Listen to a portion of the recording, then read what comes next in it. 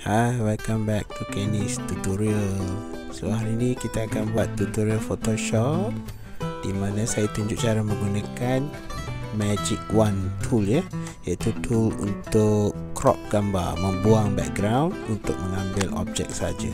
So untuk itu saya gunakan uh, canvas uh, size document banner iaitu 20 darab 5 inci ratio dengan resolution 350 ya. So yang ni ialah uh, banner, banner size. Uh, and then I will change the background color to a gradient color. Tukar warna background gradient. Okay, so you pilih dua warna dan guna gradient tu tarik, you dapat gradient. Okay, so hari ni saya nak guna gambar uh, biasa, uh, normal picture ya, JPEG. So you kena buka gambar Apa-apa gambar yang you ada. Yeah, Any picture that you have. So hari ni saya guna gambar Sultan Nazrin. So you tengok dia ada gambar biasa Dengan Background yang lebih kurang uh, Satu warna. Ya? Yeah.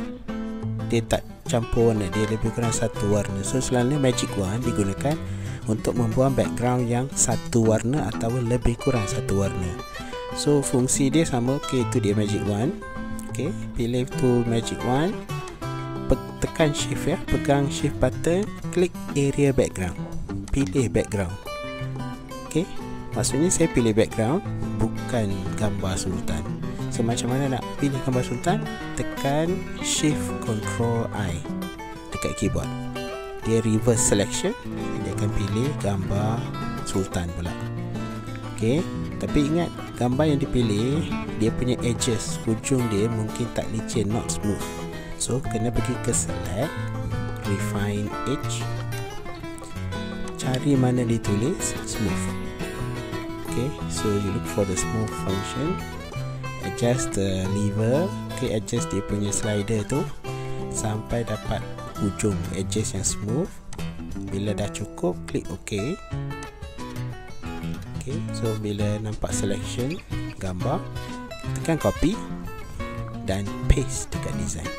Ya, okay, tadi copy Yang ni paste. Lepas tu boleh resize. Ah itu dia. Cantik kan?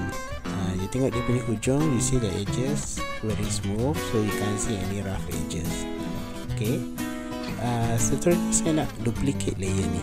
You tengok gambar sultan dalam satu layer Okay, so first saya tukar nama dulu.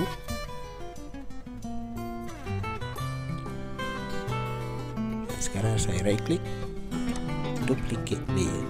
Maksudnya saya buat satu lagi copy layer gambar sultan.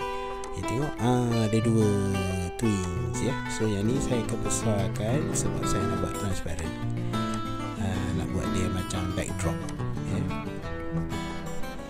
So saya letak tepi dan saya ubah opacity dekat layer gambar ini. Ya opacity adalah transparency untuk layer tersebut. Okey.